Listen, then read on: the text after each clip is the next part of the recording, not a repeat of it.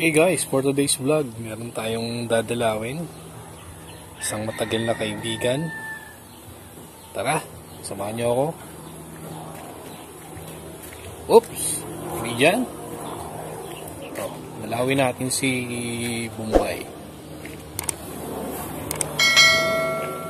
Tay! Aking uh, isa sa magiting na aking workhorse kargahan ng kung ano-ano. Kaya nangyari kay Bombay. Puro alikabok. Napa-stack. Dito. Ah, kinapitan na ng halaman.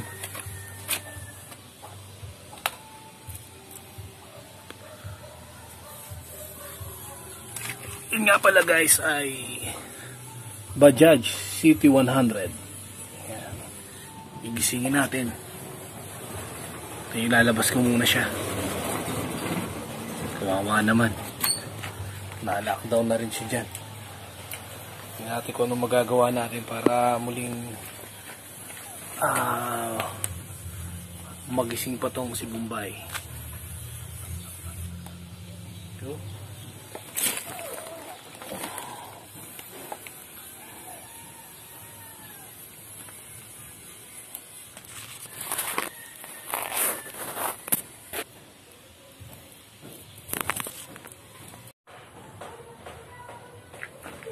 So yan guys, nailabas na natin siya mula roon sa dulo. Dito na siya para medyo madali tayong galawin. Check muna natin kung merong gasolina pa. Okay pa ang gasolina niya.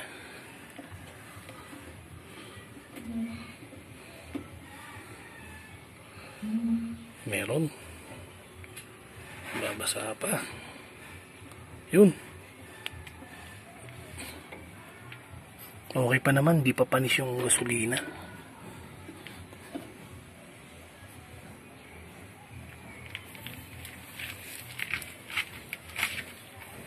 Nabitan ko na rin siya ng bagong spark plug cap.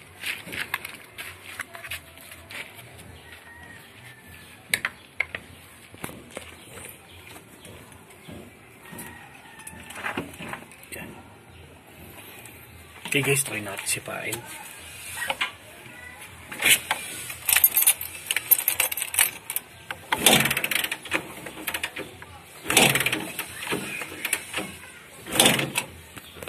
Tok.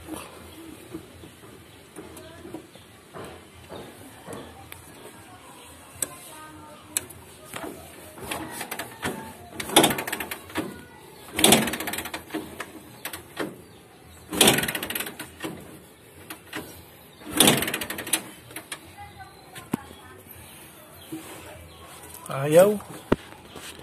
Linisin natin yung spark plug.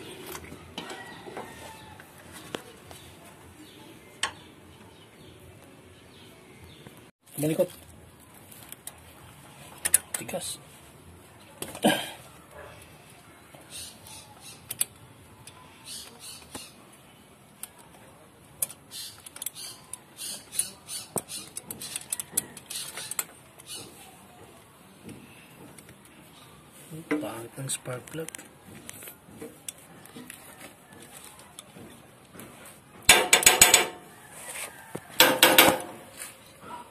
Palitan natin.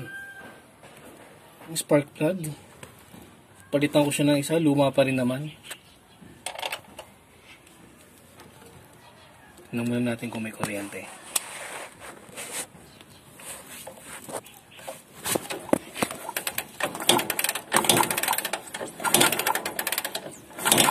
Meron, meron. Malakas.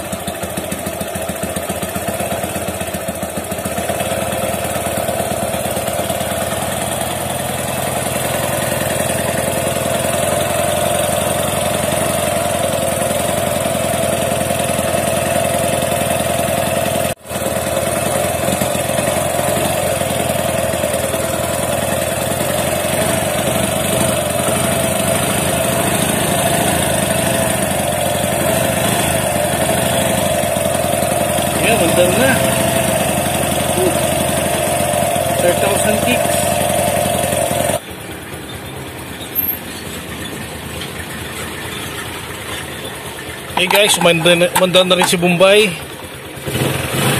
Yun.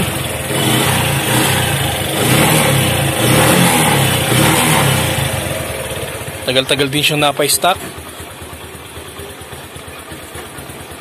Okay naman. Ang ganda pa naman ng valve clearance niya, tahimik pa. So lilinisin ko to. Tapos tatry kong mag-change oil na rin. Para magamit.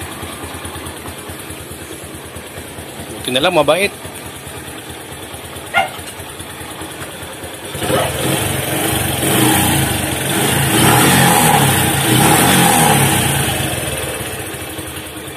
So ginawa ko lang guys, nagpalit ako ng spark plug. Palit ako ng bagong spark plug cap. Nag-drain ako ng gasolina sa carb. Tapos chinoke.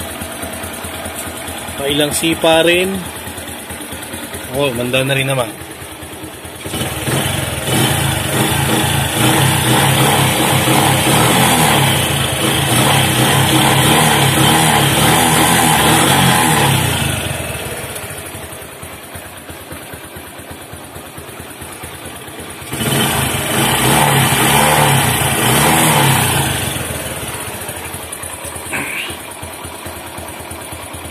Ganyan guys, pag na-stock up yung ah, sasakyan ninyo, yung motor ninyo, check nyo muna kung may kuryente, kung may lumalabas na kuryente sa spark plug.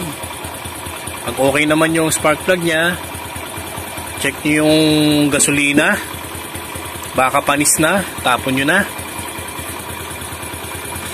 Pag okay pa yung gasolina, eh magagamit mo pa, taka rito sa carb pwedeng i-drain mo muna siya para ma-flush out yung mga lumang ah, gasolina niya. O kaya linisin mo na rin siya. Ito okay pa naman, so maganda pa naman ang takbo niya. Napansin nyo, maganda pa yung minor niya. So maglilinis lang muna ako nito ngayon. Mamaya ay mag-change oil na rin ako.